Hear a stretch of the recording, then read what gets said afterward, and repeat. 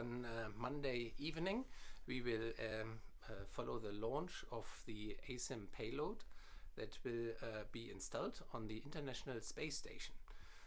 The ASIM payload will be launched from Cape Canaveral in Florida.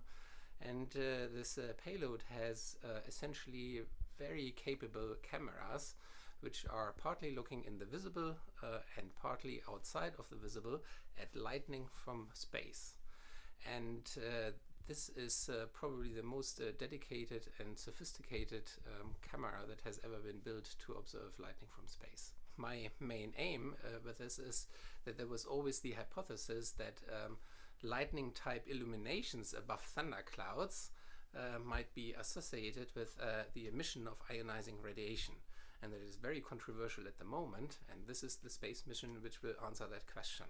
So the International Space Station will go around the world and then we will analyze the optical data but also the data uh, from the uh, ionizing radiation to see whether there's any connection.